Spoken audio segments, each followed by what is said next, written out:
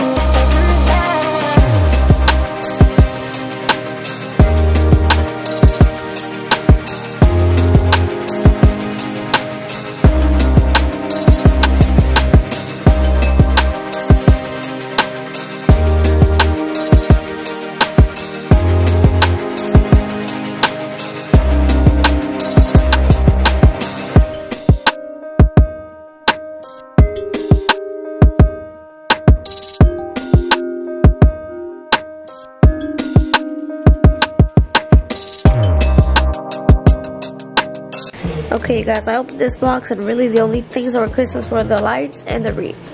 Everything, this is miscellaneous stuff. So, uh, I'm gonna put this box up. Okay, this is my yearly box. So all the yearly stuff that goes up throughout the year is here.